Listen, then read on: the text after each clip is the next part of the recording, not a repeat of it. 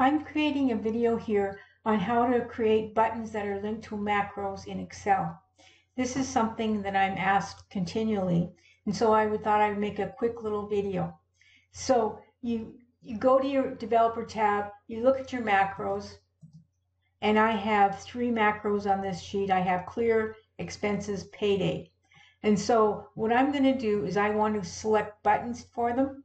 And so I'm going to the insert on the uh, on the menu bar here, and I'm collecting top one under form controls. I'm selecting button, and now it's giving me a crosshair, and then you can just draw your button on here.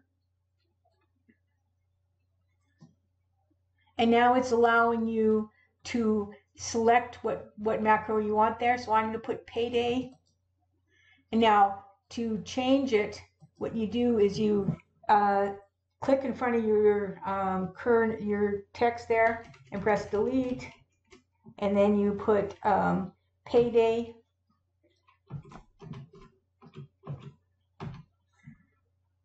And then there you go. Now we do it again and we'll go insert and we'll go.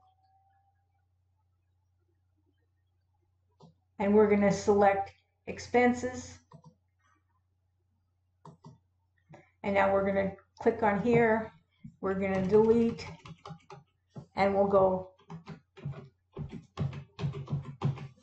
And the last one we're going to do is once more, we're going to click on our button and we're going to select and we'll make this one clear.